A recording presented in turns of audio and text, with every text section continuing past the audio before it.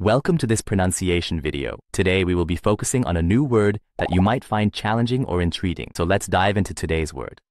Höchst, which means, a city district of Frankfurt am Main, Germany. let's say it all together. Höchst. Höchst. Höchst.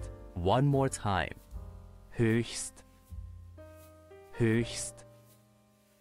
Höchst.